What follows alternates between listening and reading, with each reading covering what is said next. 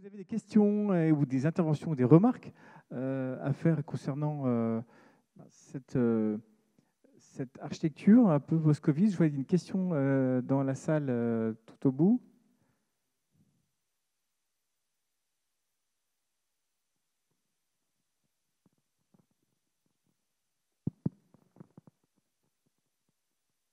Merci beaucoup. Je remercie les intervenants. Ma première remarque, c'est que est-ce que l'inventaire de comment là, par rapport à est-ce que les populations locales ont participé à l'enquête? Et la deuxième remarque par rapport à Montpellier, est-ce que les, vitres, vitrées, comment ça se passe par rapport à l'ensoleillement? Et puis par rapport à l'usage des la nexité des usages, est-ce que dans l'avenir, vos bureaux pourraient se transformer en logements et studios, etc. Merci. Sur, sur l'enquête, c'est euh, beaucoup de franciliens et pas mal de gens qui venaient de la région lyonnaise. Et puis après, c'était un peu toute la France, mais euh, vraiment avec euh, quand même une majorité de gens qui vivaient dans des métropoles. Sur, l'immeuble de bureau, en fait, sur la réversibilité, c'est des sujets maintenant qu'on regarde de façon attentive. À chaque fois qu'on dessine une tour de bureau, on met des logements dedans pour voir si ça colle. Et c'est vrai qu'il y a deux éléments qui sont structurants. C'est le pas d'étage, en fait, c'est la, hauteur dalle à dalle qu'on va donner à cet immeuble pour savoir si elle est réversible dans tous les usages, parce que c'est pas que du logement, c'est aussi euh, dans le sens inverse quelque chose qui, qui, se regarde également. Et il y a la profondeur du plateau, puisque c'est elle qui va contribuer à donner du premier jour, deuxième jour, qui va permettre de faire ces fameux appartements traversants ou triple orientation si on le peut quand on a des, objets qui ont des, plateaux à triple orientation. oui, c'est des notions qu'on regarde et qui, sont, euh, qui, nous préoccupent euh, de plus en plus. La troisième question concernait l'arbre blanc et son rapport au soleil et, et euh, à l'éventuelle surchauffe. Alors, sur, l'ensoleillement, d'abord l'immeuble est complètement blanc, donc capacité à, ne pas retenir euh, le chaud qui est, assez bonne. Et puis, on a nos balcons qui, qui se déplacent de façon aléatoire sur l'ensemble de la façade euh, pour pouvoir justement euh, se protéger du, rayonnement du soleil, mais quand même en bénéficier l'hiver, puisqu'on a quand même 40% de la surface qui est complètement vitrée.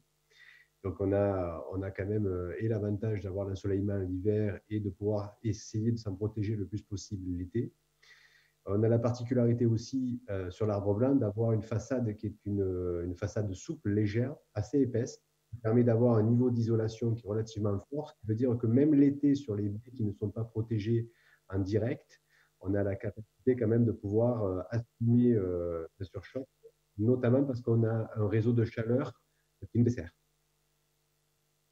Donc plutôt du blanc et des balcons qui font brise-soleil. C'est vraiment l'atout euh, principal. Est-ce qu'il y a d'autres questions euh, concernant un peu les, bâtiments qu'on a vus ou des remarques ou des interventions euh,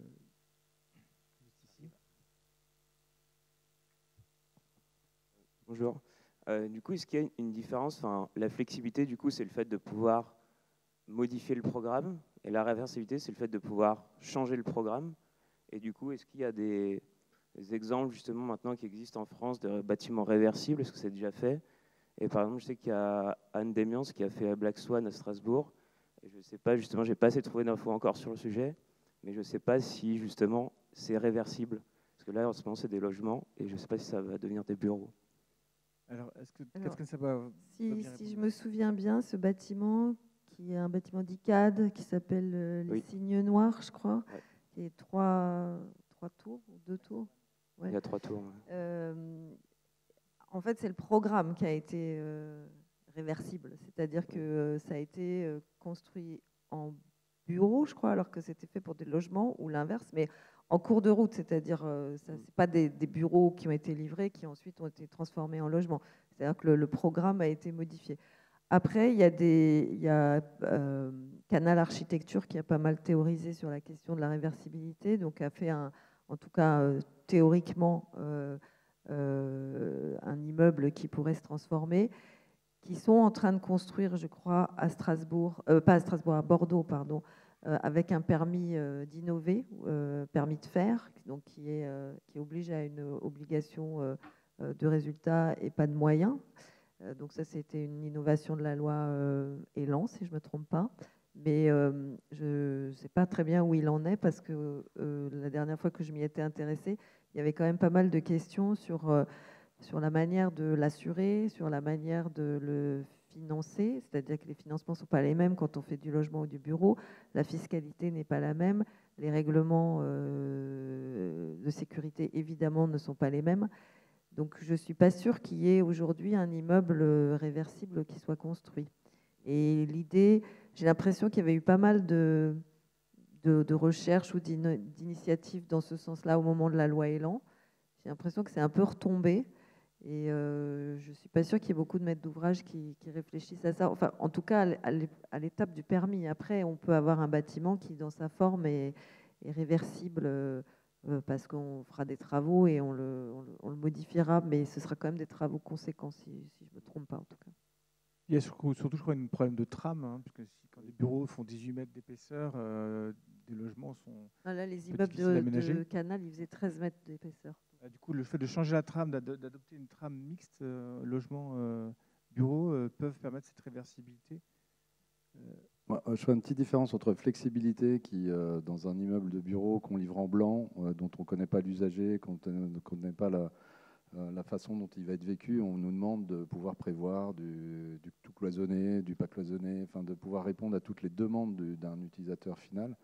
La réversibilité, c'est vraiment le changement de programme, la, modification de, l'usage. Donc ça va du bureau vers l'hôtel, de l'hôtel vers le logement. Donc il y, a des couples qui marchent très bien. Hôtel, hôtel logement, ça marche très bien parce que c'est les mêmes attentes en profondeur de plateau. Bureau, euh, logement, c'est plus compliqué parce qu'on fait des bureaux plus profonds que les immeubles de, logement. Donc c'est là où le, bâti en fait euh, est, à travailler. Mais il y a, on a des sujets euh, en cours sur la réversibilité. Il y a un sujet administratif aussi, puisque quand on dépose un permis de construire, il faut cocher la case est-ce que c'est du bureau, est-ce que c'est du logement?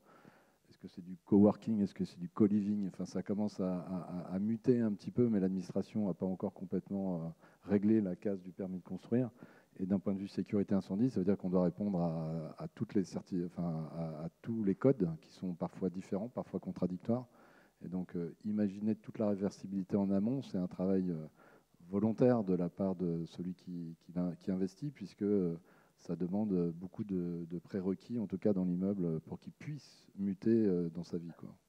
Et, on voit bien la difficulté aujourd'hui des, opérations de transformation de bureaux en logement. Hein. C'est compliqué pour des tas de raisons financières, mais aussi techniques.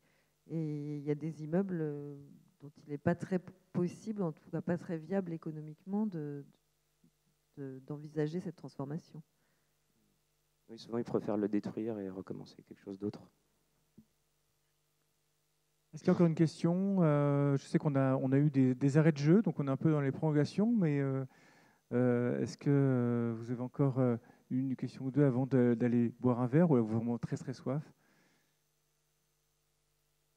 en tout cas, euh, je vous remercie. Euh, bon, je remercie Catherine Sabat, donc euh, je répète, déléguée générale et fondatrice d'Idéal. Jean-Luc Rochon, donc Croenco. On dit Croenco ou Croco?